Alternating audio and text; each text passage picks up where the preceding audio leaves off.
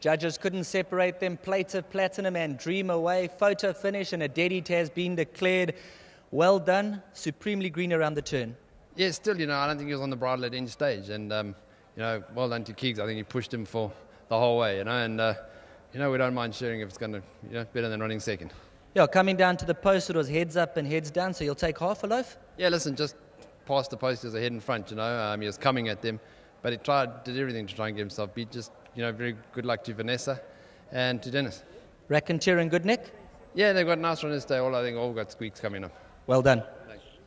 Let's get Keagan De Melo, the man who had to really get the best out of this fella. He seemed to be running in snatches. Yes, he, he ran exactly how he ran last time. I think greenness is causing him to lose the race, but luckily he got up to, to dead heat with the others. Now, coming to the last 300, he still had his three, four lengths to make up, and you gave him a vigorous ride? Yes, I, I had to. I, I was behind horses and he wouldn't go, so that's why I pulled all the way to the outside, give him a clear run. And I'm sure he'll come on from this. He just needs to mature up mentally. At home, he shows tremendous work and not a sign of greenness, but today at the races, he, he did everything to get beat. At least your best home now. Yes, thank God. Well done. Thank you very much. I want to say a big thank you to Mrs. Harrison and, and once again to um, Mr. Dreyer and to Stewie for all the support while Sean's off. Congratulations.